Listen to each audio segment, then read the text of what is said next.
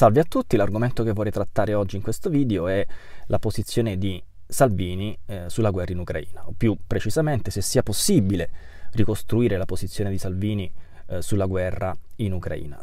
Se noi ci limitassimo alle decisioni che Salvini ha preso finora eh, con riferimento alla guerra, non andremmo molto lontano. Perché? Perché la sociologia insegna che molto spesso i leader di partito, gli uomini politici, prendono decisioni in cui non credono e prendono queste decisioni in cui non credono perché operano in un campo di forze oggettive di cui devono tenere conto. Quindi dal punto di vista metodologico credo che il modo migliore di procedere sia quello di ricostruire, di dire due parole sul campo di forze oggettive in cui si muove Salvini e non soltanto Salvini, poi cercare di utilizzare i documenti disponibili che sono pubblici, quelli che utilizzerò, quindi nella disponibilità di tutti, per approfondire il rapporto, il rapporto tra Salvini e la guerra in Ucraina. Iniziamo dal campo di forze oggettive. Questo è caratterizzato da una serie di elementi, io per motivi di sintesi ne indicherò soltanto alcuni. Il primo è la presenza in Italia di 120 basi della Nato, più circa 20 basi segrete, quindi parliamo di un numero molto imponente dal mio punto di vista, le basi della Nato in Italia rappresentano una sorta di partito di maggioranza relativo che è presente in tutti i governi italiani, di centro, di destra, di sinistra, governi di unità nazionale, fate voi. Ehm, ne consegue, e questa è sempre la mia tesi, ne consegue che in Italia eh, è impossibile governare avendo contro tutte queste basi della Nato. Se Giorgia Meloni prendesse decisioni contrarie agli interessi della Nato in Italia, eh, Biden certamente cercherebbe di destabilizzare Giorgia Meloni, di destabilizzare il suo governo, nel caso in cui non riuscisse eh, a ottenere il suo rovesciamento attraverso una serie di manovre, certamente le renderebbe la vita molto difficile. Il fatto che io dica questo non significa che io sia contrario alla Nato, ho fatto un video su questo per chiarire che invece io sono convinto che l'Italia debba rimanere all'interno della Nato e eh, nel sistema di alleanze che ci lega fortemente agli Stati Uniti, anche se sono molto critico delle politiche di Biden in Ucraina, penso che Biden stia eh, combinando soltanto disastri, che stia operando contro gli interessi dell'Europa e chiaramente anche contro gli interessi dell'Italia. Eh, ci tengo a chiarirlo perché un dibattito, un dibattito culturale ehm, adeguato non, non, scivola in questo tipo di errori. Quindi se uno studioso ricostruisce un campo di forze oggettive e dice che il governo Meloni deve fare i conti, quindi anche Salvini deve fare i conti con tutte queste basi della Nato presenti sul territorio italiano, questo, questa affermazione non può essere utilizzata per ricavare qualcosa che quello studioso non ha detto. Questo è un fenomeno che purtroppo si verifica spesso in Italia dove il dibattito sulla guerra in Ucraina il dibattito culturale è a un livello bassissimo perché purtroppo i nostri media dominanti sono a un livello bassissimo. Quindi se uno studioso dice il governo Meloni deve fare i conti con tutte queste basi della Nato, allora i media dominanti ne ricavano che Orsini sia contro la Nato. No, questo è semplicemente l'atteggiamento culturale di persone che non hanno la più pallida idea di come si conduca un dibattito intellettuale, un dibattito culturale, un dibattito scientifico. Quindi questa è la prima forza oggettiva con cui Salvini deve fare i conti.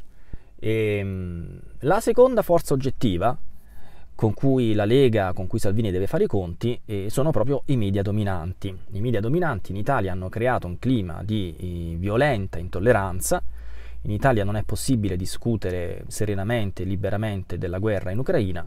I media dominanti i principali quotidiani italiani, le principali emittenti radiofoniche, le principali trasmissioni eh, televisive, hanno stabilito che chiunque provi a riflettere su quello che sta accadendo in Ucraina, sulle cause della guerra, sulle responsabilità della Nato, sugli errori commessi dalla Casa Bianca in Ucraina, debba essere violentemente aggredito dal punto di vista mediatico. E di questo Salvini chiaramente deve tenere conto in quel che dice e nelle decisioni che prende in Parlamento con riferimento alla guerra in Ucraina. Quindi le basi della Nato e questo clima di violenta intolleranza scatenato dai, cli- dai, media dominanti in Italia sono forze oggettive. Che cos'è una forza oggettiva? È una forza che non può essere eh, cambiata, non può essere modificata attraverso la volontà individuale.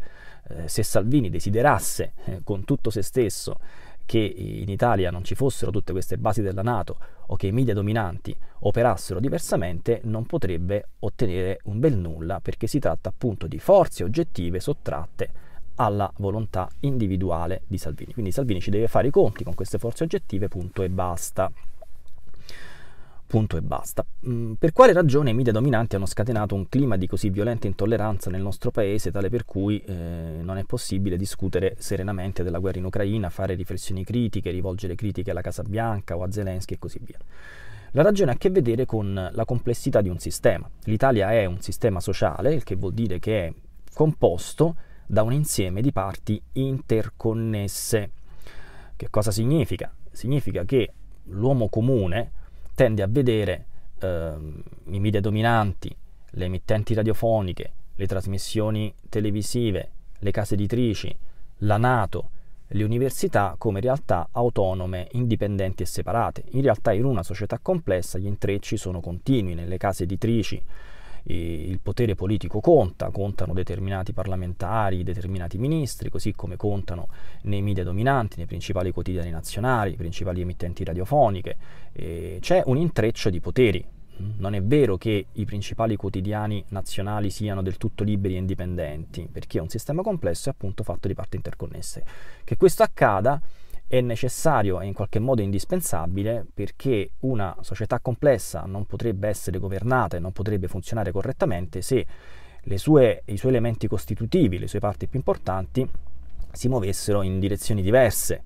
Sarebbe una grande confusione e tutto questo sarebbe molto disfunzionale. A questo punto possiamo venire alla posizione di Salvini. Io feci un, un, faccia a faccia con Salvini agli inizi di maggio, eh, credo il 3 maggio del 2022 a Carta Bianca, a Rai 3, in quell'occasione Salvini pronunciò una frase di questo tipo, io ovviamente mi scuso con voi, questa è una chiacchierata tra amici nel caso in cui sia impreciso, ma comunque il video è su YouTube ed è nella disponibilità di tutti. Salvini disse mm, qualcosa del tipo se eh, un mio viaggio a Mosca potesse dare un contributo ad avviare un dialogo diplomatico con la Russia, certamente eh, andrei a Mosca. Il giorno dopo fu mediaticamente aggredito, violentemente aggredito e duramente criticato anche dal governo Draghi, dall'allora ministro degli esteri italiano, ma insomma io penso che tutti voi ricorderete l'aggressione mediatica che Salvini subì per avere detto di essere eh, favorevole al dialogo con la Russia per risolvere la crisi in Ucraina o quantomeno per attenuare l'intensità, eh, la violenza del conflitto. E ehm, se voi guardate anche le dichiarazioni rilasciate di recente dal capogruppo uh, della Lega uh, al Senato, e ehm, adesso proverò a mostrarvi un articolo uh, che, del Fatto Quotidiano e, e suo, eh, stiamo parlando del senatore leghista Romeo, um, vedete qui questo articolo è stato pubblicato il 27 ottobre del 2022 ehm, il senatore Romeo si è distinto più di una volta, anche di recente, alcuni giorni fa, eh, per eh, il suo atteggiamento, mh, diciamo così, critico nei confronti del modo in cui stiamo gestendo la guerra in Ucraina. È una posizione molto vicina a quella di Salvini. Io mi scuso se non riesco a mostrare bene l'articolo, comunque eccolo qui, eccolo qui, articolo del Fatto Quotidiano.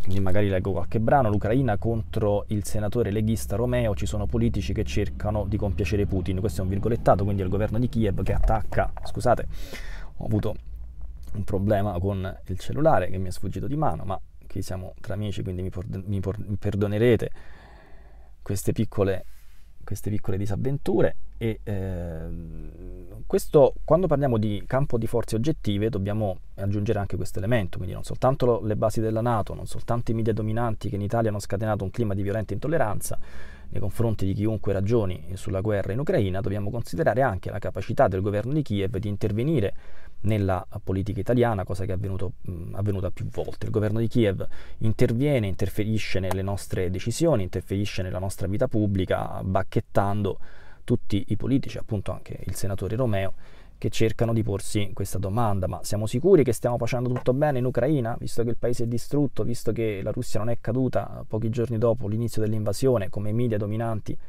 avevano annunciato, semplicemente anche porsi domande scatena questa aggressione mediatica di cui è partecipe eh, anche il governo di Kiev. Quindi il governo di Kiev si intromette nel dibattito pubblico italiano per bacchettare se non addirittura per bastonare i politici o, uh, che, che, semplicemente sollevano dubbi o domande. Vedete, questo è l'articolo, appunto, vedete, l'Ucraina, l'Ucraina Contro il senatore leghista Romeo ci sono politici che cercano di compiacere Putin, dice il governo di Kiev contro Romeo. 27 ottobre 2022, leggiamo qualche brano, durante la dichiarazione di voto sulla fiducia al governo Meloni, il capogruppo della Lega ha detto eh, si fa fatica a sentire che decideranno gli ucraini, meglio dire che decide la comunità internazionale. La dura reazione del portavoce del Ministero degli Affari Esteri di Kiev, diffondendo narrazioni russe, incoraggiano la Russia a continuare i suoi crimini. crimini. Um, qui l'articolo va avanti, ripeto le posizioni di Romeo, tra l'altro Romeo um, di recente appunto è intervenuto in Senato, è intervenuto in Senato per sollevare alcuni dubbi, nonostante abbia votato in favore del, del prossimo invio di armi a Kiev. A mio giudizio, eh, Salvini eh, pensa che stiamo combinando un disastro in Ucraina. Salvini non si può esprimere in questo modo, questa è soltanto la mia interpretazione. E, ehm, la mia impressione, sulla base della documentazione disponibile, come si dice, è che Salvini sia molto critico del modo in cui il blocco occidentale guidato da Biden sta conducendo ehm, la guerra in Ucraina, molto critico di quello che è successo prima del 24 febbraio del, del 2022, molto critico nei confronti di quello che abbiamo progettato e delle mosse, e delle mosse che intendiamo fare in futuro, cioè che intendiamo, nel senso il blocco occidentale guidato da Biden. Credo di poter dire la stessa cosa con riferimento a Forza Italia, ma su questo non mi sbilancio perché poi magari farò un video dedicato a Forza Italia, alla posizione di Berlusconi sulla guerra in Ucraina. Secondo me Salvini sta aspettando il momento giusto per poter avviare un dialogo diplomatico con la Russia. Sta aspettando che maturino le circostanze per poter avviare un'iniziativa di questo tipo. In questo momento non può farlo per le ragioni che ho indicato, vi sono forze oggettive che glielo impediscono, ma credo, anzi sono convinto, che se Salvini potesse parlare liberamente direbbe che Biden ha creato un disastro in Ucraina e stesso discorso la von der Leyen. Um, qual è la ragione per cui in Italia non è possibile parlare liberamente della guerra in Ucraina? La ragione è che noi italiani dobbiamo essere predisposti a recepire le decisioni della Casa Bianca, le decisioni di Biden, perché abbiamo 120 basi della Nato, forse 140 se includiamo anche quelle segrete.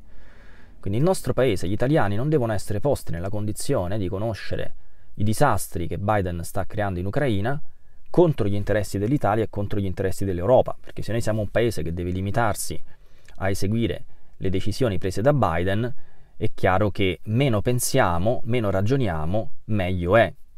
E vedrete, vedrete infatti che come sempre accade, oggi Biden dice diplomazia zero con la Russia, i media dominanti in Italia, emittenti radiofoniche, i principali quotidiani, e le principali trasmissioni televisive dicono eh, diplomazia zero con la Russia, se domani Biden dovesse dire beh adesso è arrivato il momento di aprire un canale diplomatico con la Russia, i principali quotidiani italiani, le principali trasmissioni televisive, le principali emittenti radiofoniche direbbero beh adesso è arrivato il momento di aprire un canale diplomatico con la Russia, e, ehm, senza il minimo imbarazzo, facendo apparire tutto questo come il frutto di una riflessione autonoma e indipendente. Quindi i principali quotidiani italiani direbbero: oh no, ma noi adesso siamo arrivati alla conclusione che sia giunto il momento di, di dialogare con la Russia perché? perché ci siamo arrivati in maniera libera e indipendente. Però gli studiosi che hanno contezza di tutto quello che accade, che raccolgono documenti, raccolgono informazioni, dicono: Ma guarda un po' strano, quando Biden diceva diplomazia zero con la Russia, i principali quotidiani italiani, le principali emittenti radiofoniche, le principali trasmissioni televisive dicevano diplomazia zero con la Russia, adesso che Biden ha cambiato idea, tutti quanti i, i gruppi di poteri che ho citato ripetono pappagallescamente quello che Biden sta dicendo. Questo è molto triste, è molto triste che un paese ricco di cultura come l'Italia, un paese importante come l'Italia, debba essere asservito intellettualmente in questo modo. Non ho nessun problema che in Italia ci siano 120 o 140 basi della Nato, provo un senso di vergogna nel vedere che il mio paese si è ridotto in questo stato, uno stato davvero pietoso e avvilente. faccio presente che i principali quotidiani italiani, dopo 11 mesi di guerra, ancora si rifiutano di discutere delle cause della guerra in Ucraina. Spaventoso e impressionante. Dopo 11 mesi di guerra, ancora i principali quotidiani italiani si rifiutano, si rifiutano di aprire una discussione sulle loro pagine relativa alle cause della guerra in Ucraina. È chiaro che se noi non siamo in grado di rimuovere le cause profonde che hanno scatenato la guerra in Ucraina, siamo destinati a ripetere sempre gli stessi errori e soprattutto siamo destinati a non uscire da questo inferno. La ragione per cui i principali quotidiani italiani non vogliono riflettere sulle cause della guerra in Ucraina è perché una delle cause della guerra in Ucraina, una delle principali, se non la più importante in assoluto, almeno questa è la mia tesi, è l'espansione della Nato verso i confini della Russia. E siccome in Italia ci sono 120 basi della Nato più 20 basi segrete, e siccome nessun governo italiano può governare contro queste basi, gli italiani non devono acquisire la consapevolezza dell'errore enorme che è stato fatto dalla Nato eh, nel suo tentativo di inglobare l'Ucraina nel proprio seno. Non soltanto l'Ucraina, ma anche la Georgia e chiaramente anche la Finlandia e la Svezia. Siccome non è possibile arrestare l'avanzata della Nato verso i confini della Russia, altrimenti eh, la Casa Bianca e Biden si schiererebbe contro qualunque governo italiano, gli italiani non devono poter discutere, non devono poter ragionare. In Italia adesso c'è questo divieto, divieto di ragionare criticamente su quello che sta accadendo in Ucraina. Va bene, vi ringrazio molto e a presto.